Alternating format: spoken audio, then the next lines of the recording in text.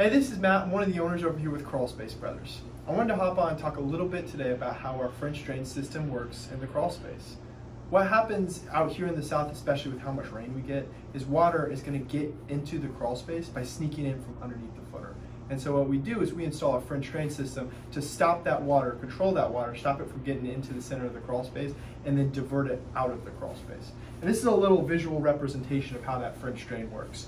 Visual, visualize this as the footer. What we do is we dig about roughly a foot deep of a trench and then we install a layer of gravel underneath. Now what this gravel is going to do is it's going to allow that water to flow up into the crawl space. And then what it's going to do is it's going to be caught by this four inch perforated pipe and gravity fed to the lowest location.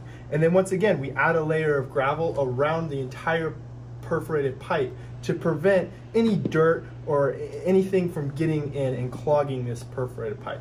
But this will always allow that water to flow and make sure that's leading directly to the sump pump so that way it can be pumped out of the crawl space and keep the crawl space dry.